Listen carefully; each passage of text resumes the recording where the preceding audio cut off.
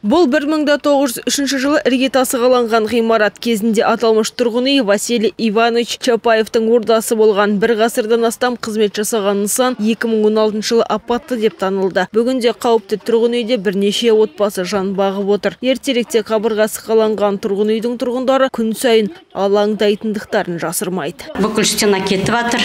Батареялар ішіне қарай шөгіп жатыр. Сырттағы бүкіл фундамент ішіне кетіп жатыр. Енді біздер даже қорқамыз тұруға мына үйде деген Өткен жұмада аталмыш тұрғын үй дәлізінің шатыры құлап түсті. Оқиға орнына дереу төтеншеліктер жеткен еді. Ағымдағы жылдың 21 маусым күні хабарлама түскен Орал қаласы бойынша жаңағы Чапаева көшесінде 12 пәтерлік үйде ішінде жаңағы коридорларында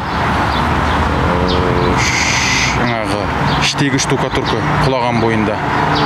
Барлығы жаңағы төрт шаршы метр квадратный метр төрт квадратный метрда түскен штукатурка қалалық тұрғын үй коммуналды шаруашылығының мамандары апатты тұрғын үйді сүріп мемлекеттік жекеменшік серіктестік аясында жаңа баспана салу жоспарлануда екендігін жеткізді. Орал қаласы әкімдігі мен аталған мекенжайды мемлекеттік жекеменшік әріптестік бағдарламасы аясында бұзып жаңа үй салу жұмыстары жоспарлануда. Чапаевтың ордасын паналап отырған тұрғындардың бұдан өзге барар жері жоқ. Бірінші кезекте тұрғындардың дін амандығы үшін апатты үйдің мәселесі өз шешімін тапса игі. Գիգը։ Աժարխամի Իտվան Ռլան Կունաշև, Ռուստամ Ջումաշև, տդկաղրի եկտիրարնասը։